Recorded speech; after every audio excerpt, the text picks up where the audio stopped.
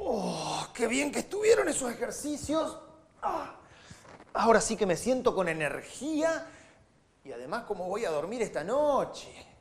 Sí, por supuesto, porque cuidar la salud no es solamente eh, hacer ejercicio, sino que también descansar correctamente, eh, alimentarse bien, eh, cuidar nuestros sentimientos y nuestros pensamientos, porque nosotros somos un ser integral, no puedo cuidar solo una parte de mi cuerpo. Por eso justamente quería mostrarles este material que nos cuenta qué es la salud.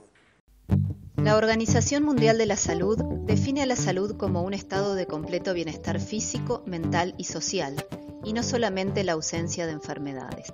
La salud es importante en todas las culturas, sin embargo, no todos entendemos lo mismo a la hora de definirla, porque la salud implica no solo conocimientos, sino también creencias, normas, tradiciones y valores a través del tiempo. En la antigua China se creía que los elementos de la naturaleza influían sobre la salud. Otras culturas pensaban que la enfermedad y la muerte estaban causadas por espíritus. En la cultura occidental, los griegos de la antigüedad hicieron de la salud un culto y los romanos desarrollaron el interés hacia la enfermedad. En la modernidad, el cuerpo humano se asoció al concepto de máquina y por lo tanto la enfermedad era el desvío del funcionamiento normal.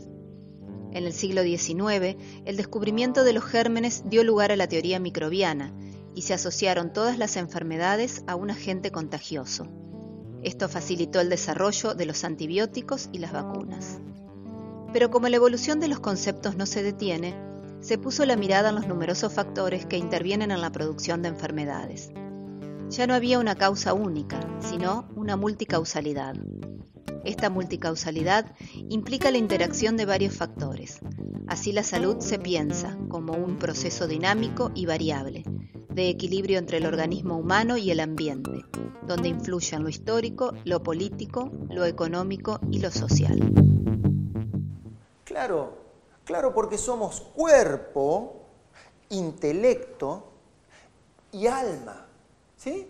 Somos un ser integral. Sí, exactamente. Por eso es que nosotros, los seres humanos, eh, somos un ser social. Necesitamos estar con el otro compartir. Por eso nos cuesta tanto esta, este aislamiento. Pero es un sacrificio que tenemos que hacer hoy para poder estar mejor mañana.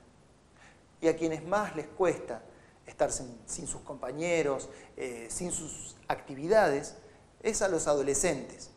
Así que a ustedes, muchachos, ahora sí les vamos a proponer estas actividades físicas.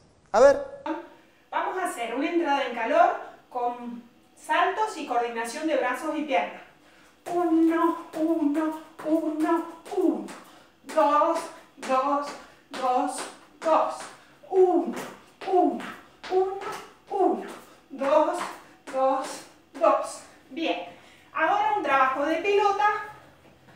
Uno, uno, uno, uno. Dos, dos, dos, dos. Uno, uno, uno, uno. En la Muy bien. Y comenzamos a elongar. Exhalamos. Llevamos la pelota hacia un lado, hacia el otro. Exhalo. Muy bien.